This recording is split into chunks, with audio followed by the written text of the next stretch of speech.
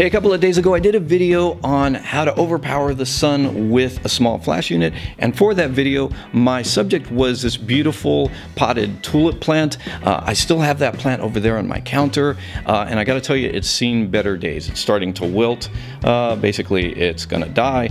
And uh, I wanted to uh, get some pictures of this thing because you know even in its current state, uh, its final stages before we throw it out, it still has a beauty of its own and I wanted to sort of celebrate that beauty by taking some pictures, maybe even some macro shots. So if you'll join me for a few minutes, let's go ahead and see what we can get, see if we can get some beautiful pictures out of this plant. First thing we're gonna do is set a stool up right here. I'm gonna use this as my background and we'll place the plant right about here.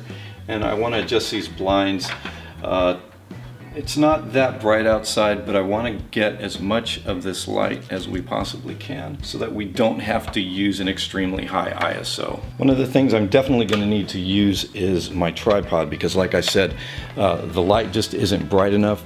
Uh, I don't want to use a really high ISO, so I'm going to have to make up for that with my shutter speed and my aperture.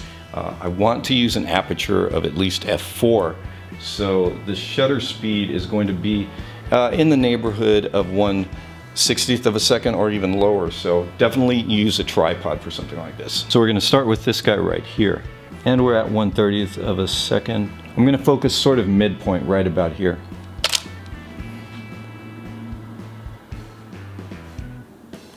Okay, because I'm really not that happy with the amount of light that we're getting through the window. Like I said, it's kind of a dreary day, it's overcast. I'm gonna use a flash and that technique that I showed you the other day to isolate the subject in total darkness or near darkness, at least uh, it'll look that way. And we're gonna do that by using off-camera flash. It's gonna be manual flash. We're gonna trigger it with this little radio trigger and uh, let's go ahead and see what we get with that. Now because I'm using flash, I'm not gonna have to worry about those slow shutter speeds because we're gonna be at our flash sync speed of 1 250th of a second. This is pretty nice except for the fact that the highlights are blown out. So what I'm gonna do is I'm gonna adjust my flash down a couple of stops and we'll see where that gets us. So I've got my exposure down at this point so the rest is gonna be about just getting a good composition and just making this thing look really nice.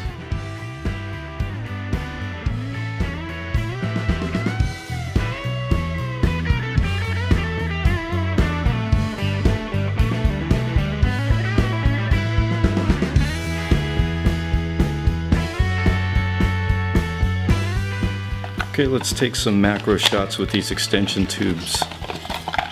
We'll go for this one, the 31 millimeter.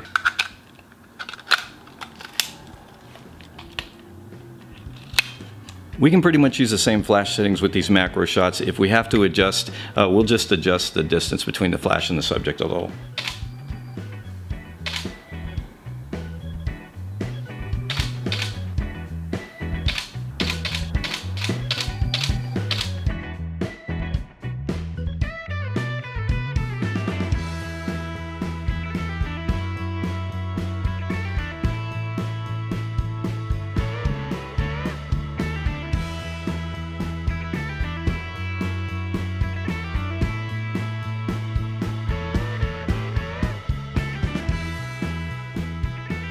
Well, there you go. I think this plant is still beautiful even in its current state with its blooms wilting. Uh, it still has its own charm, its own beauty, and uh, you know, yeah, this this uh, plant, maybe there's still some hope for it. I see some uh, little things sprouting up here, some new stems. Uh, but these, I think we've done a fine job immortalizing uh, the character and nature and beauty of these with the pictures that we just took. Uh, I like it. And you can let me know what you think in the comments below. And as always, I want to thank you for hanging out with me. I thought this was fun. Uh, if you like this video, go ahead and click that like button. If you haven't already, go ahead and click subscribe. That's about it for today. I'll see you guys next time.